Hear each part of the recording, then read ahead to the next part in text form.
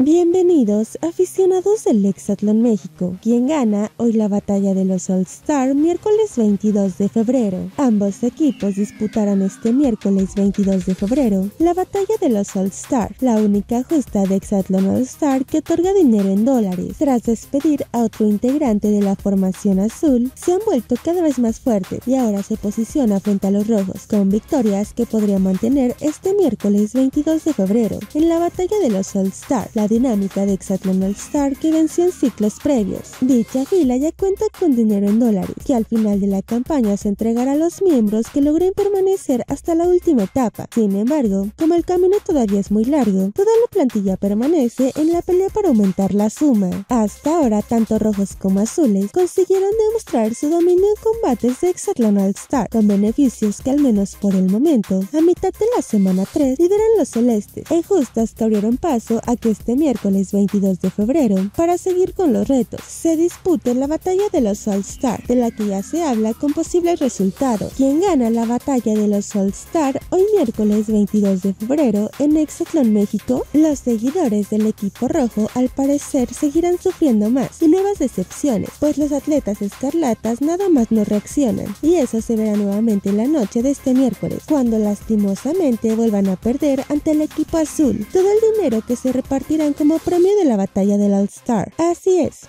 el equipo azul será el ganador de la batalla de los All Star.